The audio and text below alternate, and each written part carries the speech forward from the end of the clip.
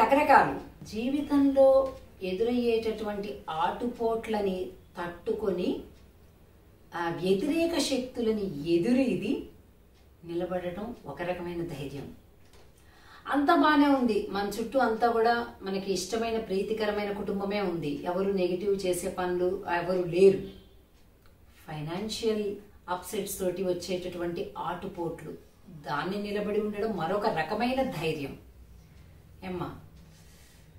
So Rajeshwari ఇప్పుడు అన్ని రకరకాల ధైర్యాలు ఉంటాయి. అన్ని ఒక రకం కేటగిరీగా చెప్పలేము ధైర్యం అని ఒకే పదంతో చెప్పలేము ఫైనాన్షియల్ ట్రబుల్స్ని ఫేస్ చేసే ధైర్యం ఒకటి ఉంటుంది. అంటే వ్యాపారంలో నష్టాలు వచ్చినప్పుడు లేకపోతే అవసరాలకి సరిపడా ఖర్చు లేనప్పుడు ఉండేటటువంటి ఒక పిరికితనం దాన్ని ఓవర్కమ్ చేయడానికి కావాల్సిన ధైర్యం ఒకటి. మన చుట్టూ ఉండేటటువంటి శత్రువులు. అంటే ఇప్పుడు ప్రొఫెషనల్ శత్రువులు మళ్ళీ ఇంట్లో శత్రువులు. రెండు రకాలు మళ్ళీ. బంధువులు తోడబుట్టిన వాళ్ళు లేకపోతే భార్యకు భర్త భర్తకు భార్య లేకపోతే అత్తగారు ఇలా ఇవన్నీ కూడా ఒక ఫ్యామిలీలో ఇంటర్నల్గా ఉండేటటువంటి నెగిటివ్ శక్తులు. వాటి నుంచి వాటి యొక్క యుద్ధాల నుంచి ఎదుర్కొనే ధైర్యం. అది డిఫరెంట్ ధైర్యం. మన ఆఫీస్లోకి ఇంట్లో అంతా బాగుంది చక్కగా చల్లటి కాపురం చల్లటి సంసారం అంతా బాగానే ఉంది. కానీ ఆఫీస్లో ఉండేటటువంటి సమస్యలు. దాని నుంచి ఎదుర్కోవడానికి ఇంకొక రకమైనటువంటి స్కిల్స్ కావాలి. అది ఇంకో రకమైన ధైర్యం. మీరు అడిగింది ఇంకొక రకమైన ధైర్యం. స్టేజ్ ఫీర్ అంటాం ఇది. మిగతా వాడు బ్రహ్మాండం. బ్రహ్మాండంగా వ్యాపారం చేస్తాడు బ్రహ్మాండంగా ఇన్వెస్ట్మెంట్లు చేస్తాడు బ్రహ్మాండంగా ఫ్యామిలీ ఉంది అన్నీ బాగానే ఉన్నాయి కానీ స్టేజ్ ఎక్కితే మాట్లాడలేడు. అది స్టేజ్ ఫియర్. అది ఇంకొక రకమైన ధైర్యం. కొంతమందికి స్టేజ్ ఫియర్ కూడా ఉండదు. పరీక్ష రిటర్న్ ఏమన్నా రాయాలంటే మాత్రం అస్సలు చేత కాదు.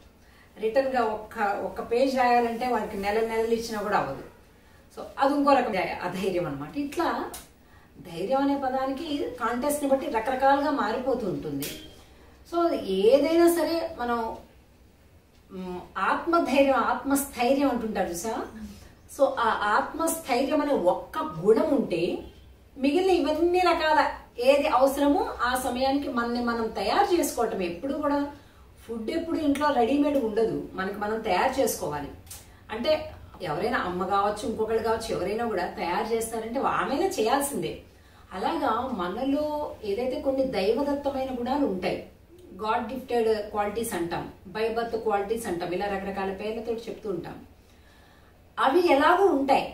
కాకుండా చాలా అవసరాలు అవుతాయి ఈ లోకంలో బతకడానికి. అలాంటప్పుడు ఆ సిచ్యుయేషన్కి అనుగుణంగా ఏది మనకు అవసరమో దాన్ని నేర్చుకుంటూ జాగ్రత్తగా ముందుకు వెళ్ళిపోవటమే తప్ప ధైర్యాలలో ఏదైనా కావాలి అంటే ముందు ఆత్మస్థైర్యం అనేటటువంటిది ఉండాలి. అది నిజాయితీ నుంచి నీతి నుంచి ధార్మిక శక్తి నుంచి వస్తుంది.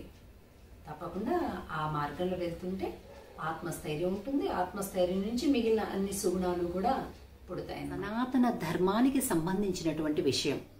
ఎంతమంది చూస్తున్నారు ఎంతమంది లైక్ చేస్తున్నారు ఎంతమంది సబ్స్క్రైబ్ చేసుకుంటున్నారు అనేటటువంటి విషయం మీద హిందువుల యొక్క ధర్మ జాగరణ ఎంత బాగా ఉంది అనేటటువంటి విషయం తెలుస్తుంది.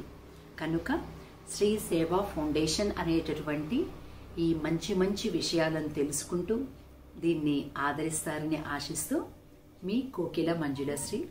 జయ శ్రీకృష్ణ.